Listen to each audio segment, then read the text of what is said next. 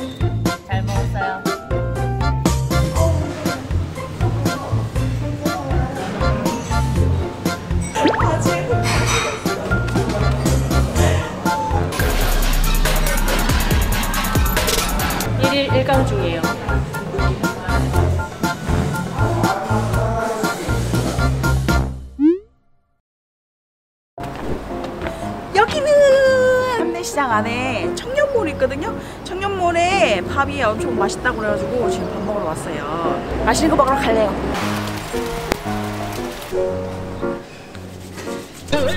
청년몰, 청년몰 완전 예뻐. 얼마예요? 6만 원이요. 열번 열번 퍼먹어도 돼요? 네네. 20원, 30원 좀 문제 아닙니다. 어, 찌개, 찌개. 참치, 참치, 김치찌개.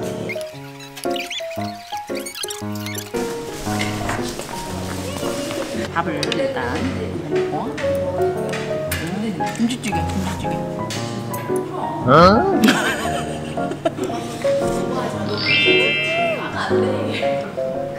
진짜 맛있어, 김치찌개. 음. 완주에 있는 청년 식당들은 다 인테리어가 예뻐요. 젊은 분들이 하니까 메뉴도 어, 좋아하는. 음. 저뭐 한 가지 더 먹을 거예요. 잠깐만. 먹어봤어요? 저희 덮밥이 메인인데 그 중에서도 볼살 같은 게 좀 잘 나가요. 부드럽고 육질이 좋아가지고 그거 주세요. 사이즈는 뭐? X large. 그래, X large로 주세요.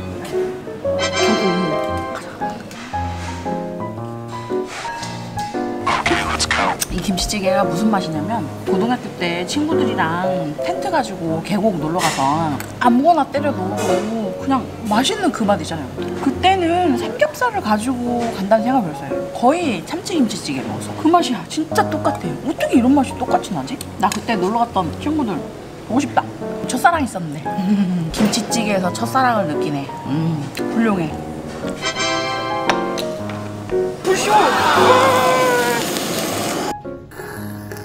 아 예쁘게 배치했어요. 음 마지막에 불 이거 한게 정말 신의 한 수. 음, 한식 뷔페는 자주 메뉴가 그때 그때 마다 바뀐대요. 그 유별난 농장이라고 있는데 거기서 직접 재배한 거예요. 아니 또